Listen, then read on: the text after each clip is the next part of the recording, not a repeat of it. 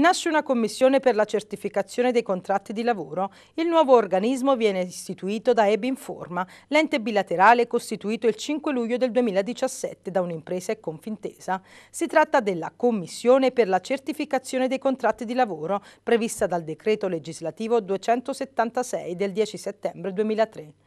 Secondo il provvedimento del 2003, articolo 75, la Commissione può essere richiesta per tutti i contratti in cui sia dedotta direttamente o indirettamente una prestazione di lavoro, quindi qualsiasi tipologia di contratto di lavoro subordinato e autonomo, ma anche contratti di appalto, di somministrazione di agenzia, rappresentazione commerciale.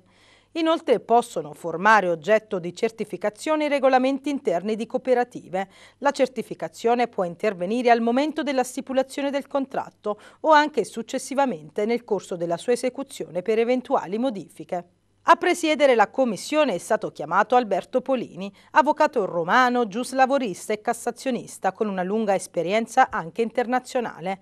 Il consiglio direttivo è composto da sei membri. Polini, secondo l'accordo tra le due organizzazioni di categoria, è stato designato da un'impresa, cui spetta anche l'indicazione di due componenti dello stesso consiglio direttivo. Altri due componenti, insieme con un vicepresidente, vengono invece scelti da Confintesa.